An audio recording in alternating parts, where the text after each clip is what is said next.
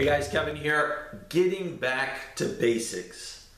I think this is so important, not just in martial arts, but in our life right now today. But first, let's talk about martial arts. I see a lot of students, a lot of my students, they are in a hurry to just learn and rush and, you know, just get to the next moves, get to the next form, get to the next belt and they're just kind of they're learning the movements but they're not mastering the movements. They you know especially in the lower belts you know you start out with white belt and you learn the basic blocks and the kicks and the punches your first couple of forms. And you know once you've got those down you're like in a hurry. You know you're in a hurry to just get get to the next level. And you don't really take the time and put in the time to master them, to get all the mechanics down, to get your waist moving and twisting into the movement. All these little fine points, you don't take the time to train them. You are taught them, but you're in such a hurry that you kind of glaze over those things.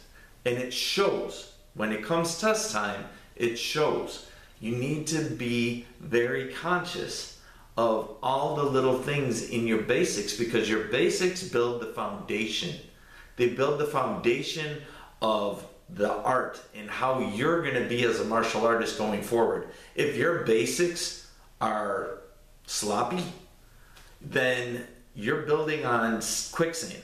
You know, you can learn all the fancy moves and the kicks, but when it comes time to actually um, prove that you you know and you have an in-depth knowledge of the art you're studying, it's not going to be there. Lord forbid you ever have to use what you learn on the street and it doesn't work for you because your punches lack power, because you're not performing them correctly, or your block doesn't work.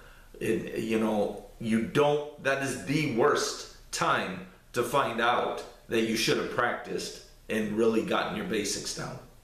The basics are huge, so don't glaze over them. But going back to basics, also beyond martial arts, going back to basics, with our life right now with this pandemic and all the craziness going on, especially in America, we are getting bombarded with all this information, all these arguments, all these riots, all these emergencies that pop up.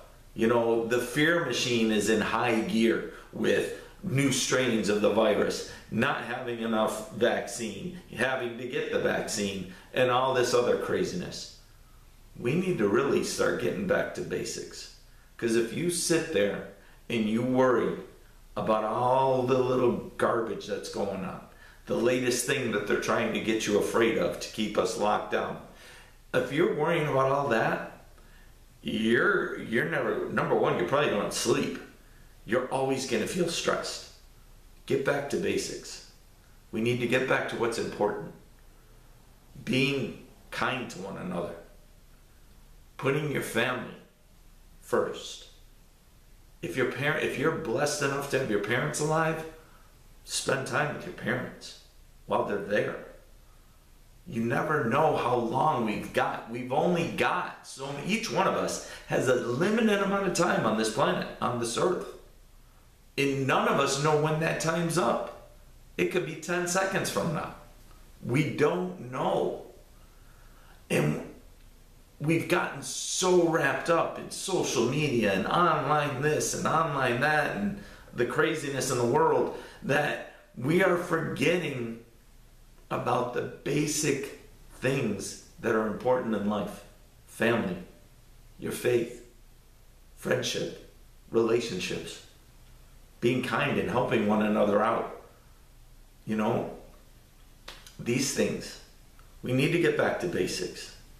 And I just wanted to go ahead and get this video out there because this has been something that's just been on my mind all day.